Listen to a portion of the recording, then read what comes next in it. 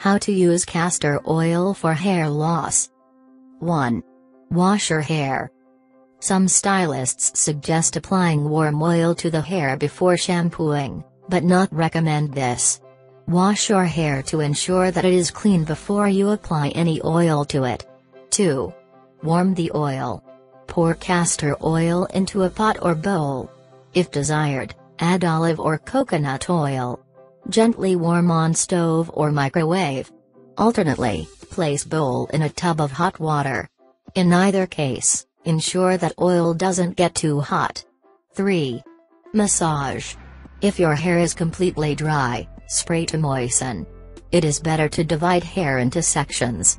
Apply oil to one section at a time and massage gently. Castor oil needs a little time to absorb, so massage continuously until you can feel that oil has soaked in. 4. Scalp massage. Hair massage isn't enough.